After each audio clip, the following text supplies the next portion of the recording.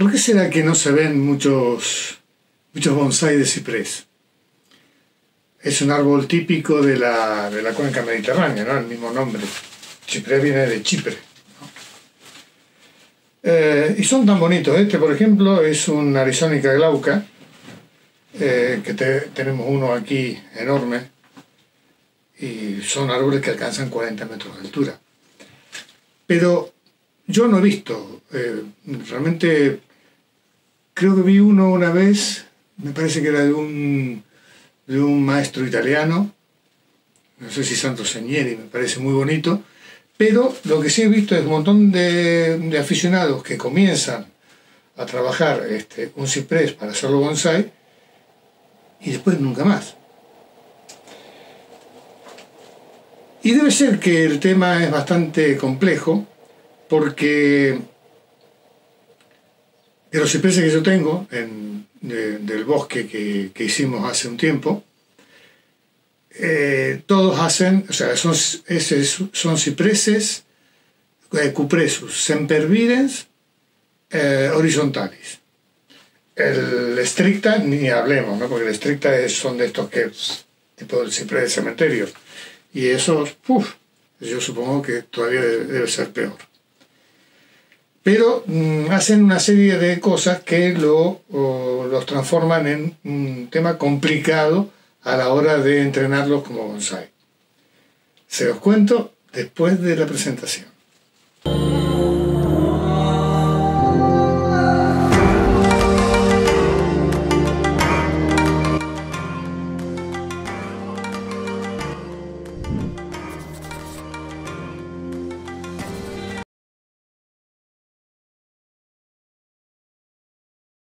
Todos los cipreses, o por lo menos los cipreses de la cuenca mediterránea, tienen una gran dominancia apical. Es decir, tienen la tendencia a cuando eh, cortamos el ápice a hacer que una de las ramas eh, sustituya al ápice automáticamente. Si lo hacemos nosotros, es decir, alambrando y pegándolo al tronco, bien.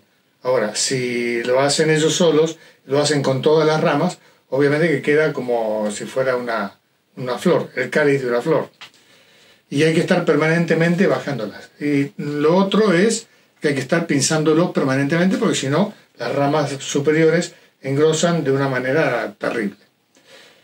Y se me decía una vez, me decía un, un alumno, dice, que claro, el ciprés, dice, tiene el tronco liso hasta que es muy viejo. Bueno, o hasta que hace el mochicomi, es decir, hasta que ha estado suficientemente cantidad de tiempo en una maceta como para que empiece a hacer la corteza rugosa. Sin embargo, yo creo que es una, una gran oportunidad porque es un material que es económico, es un material eh, que se puede trabajar eh, sabiendo cómo y teniéndole paciencia. Si pretendemos en un año, si el primer año, el primer año lo vamos a labrar, lo limpiamos, lo, pinzamos, lo probamos y quedamos pelados, pero, pero bonito. Eh, ahora, claro, empiezan a crecer es para eh, estar encima de ellos eh, todo el tiempo. Sin embargo, aún así yo creo que va Y les voy a dejar ahora una serie de fotografías de cuando yo tenía los cipreses dentro de un plato, un montón de cipreses, algunos los compré de estos cipreses de cerco, otros los encontré en unas escaleras de cemento, tenían agujeros. Había cipreses cerca, habían, habían crecido semillas. Eh, y la había puesto todo junto en un plato, de todo. Hasta que eh, me decidí hacer la maceta, maceta del bosque y eh, los lo puse allí, los, los todos, los trabajé todos y obviamente ustedes verán la primera impresión es, sí, están bonitos, pero eh, tema está en cuando empiezan a desarrollar eh, empiezan a desarrollar follaje, que otra de las cosas eh, que dicen es que no son muy, se empiezan mucho por las puntas, muy difícil de hacer retroceder la vegetación. También es cierto. Pero si uno mantiene el pisado al día,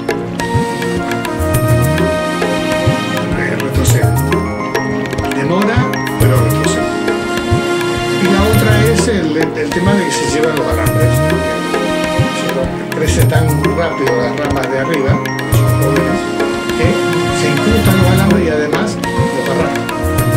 Vuelvo a ver la rama a la posición. Incluso ya cuando tienen unos años, suelo Aún así, sigo insistiendo, es un material que vale la pena. Y por eso ahora vamos a. Yo dejé espigar, bueno, dejé espigar. Se espigaron solos porque estaba haciendo otras cosas, tenía, tenía trabajo y, iba dejando de un día para el otro pinzar, pinzar, pinzar, y de golpe me encontré con que eh, algunos incluso se habían disparado. Así que lo que vamos a hacer es pinzar el, bosque de, de, cipreses y en este momento, y tal y como está, como está disparado, vamos a hacer tres tipos de pinzado diferentes. El primero, Metsumi, es decir, el brote tierno de la punta, el que se puede cortar sin que quede un hilito en el centro, ese lo vamos a, pinzar con, la, con los dedos. Es trabajo, sí, pero bueno, el bonsai es trabajo. Eh, luego, el, digamos, el brote que sea más duro, más, más largo, de manera individual, lo vamos a cortar con tijera.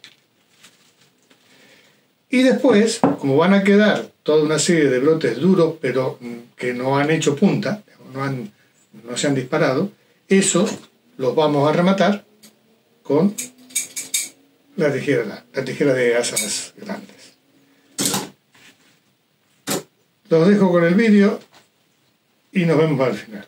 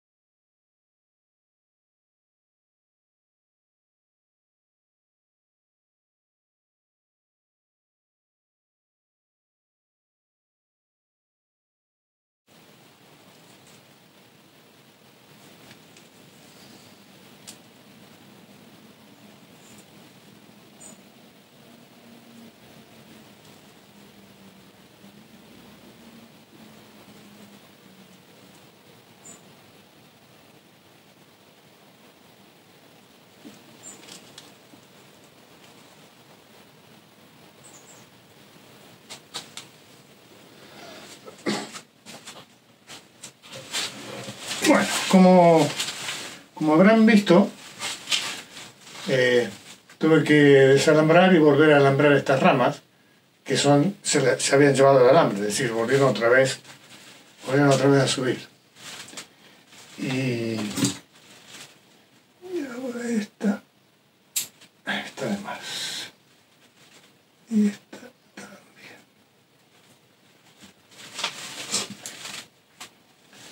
Bueno, ya empieza un poco a tomar, a tomar algo de forma, ¿no? Si, si comparamos con, con la foto de cuando lo hicimos, la foto del, último trabajo y esta, obviamente, bueno, ahí tengo que... Está seco ahora, le falta, hay que regar. Pero empieza a tomar,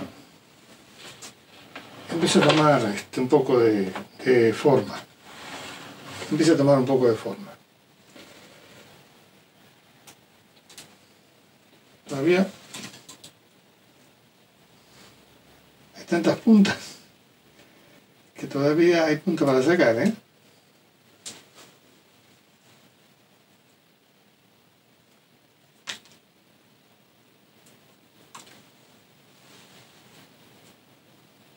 Esto en En primavera lo que haremos será, posiblemente alambremos, eh, hare- haremos a lo mejor un pequeño aclarado eh, y alambraremos alguna rama. Aquí debe haber una, aquí debe haber una mezcla de variedades. Este de acá atrás hay que, hay que alambrarlo también. Esta rama, si se fijan, esta rama, y se levantó así, ¡ting! estaba aquí abajo y está buscando ese ápice. Lo que hablábamos de la preeminencia apical. Entonces, bueno, habrá que, ahora la vamos a, yo no la había visto, la vamos a pinzar más corta, como para que no siga estirando hacia arriba. y vamos a tener que alambrarla. ¿Eh? Vamos a tener que alambrar esta rama, posiblemente esta otra también tendrá que ir a otro sitio. Pero bueno, para un, para un trabajo de, de otoño,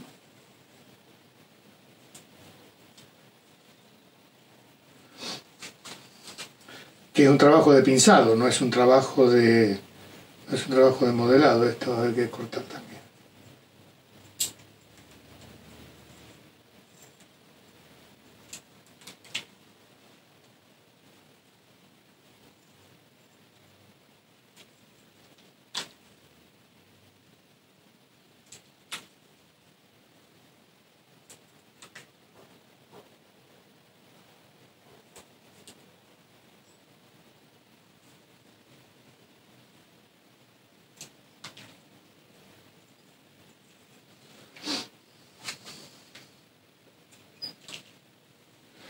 Obviamente que si nos ponemos a revisar, eh, que eso en casa, digamos, cuando estamos trabajando tranquilos, es más fácil. Yo ahora a mí me corre el tiempo del vídeo.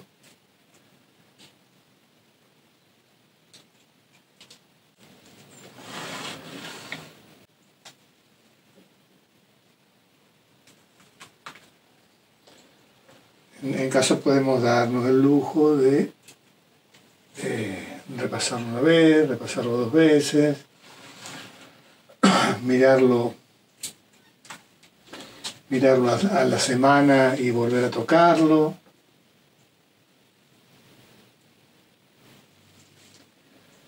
Pero en definitiva, lo que yo creo que es, es este, bastante evidente es que si bien este tipo de árboles son, quizás no son tan sencillos como, como un jonífero que tiene la tendencia a ser rastrero y a hacer las ramas péndulas, obviamente que no hace la dominancia que hace, que hace un ciprés.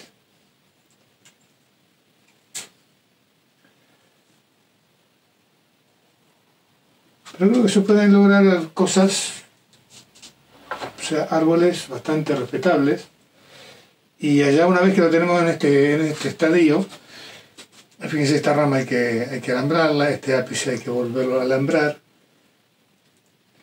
Hay que sacar una rama aquí, hay que sacar una rama aquí. ¿Mm? Es decir, todavía falta trabajo de. Todavía falta trabajo de modelada. Aquí no sé si estaba, lo estaba mostrando a mí y no estaba mostrándolo a la cámara. Si este ápice, por ejemplo, eh, hay que trabajarlo, hay que bajar esta rama, bajar esta rama, bajar esto así. ¿eh? Esta también hay que alambrarla. Esta hay que girarla hacia allá. todavía le falta, le falta mucho, le falta mucho trabajo. Espero que les les haya gustado el vídeo. Yo ahora me voy a, me voy a regarlo y posiblemente la semana que viene le dé otro, otro toquecito. Y en febrero marzo, antes de que brote, entonces ahí sí, ahí lo, lo alambraremos, lo limpiaremos también.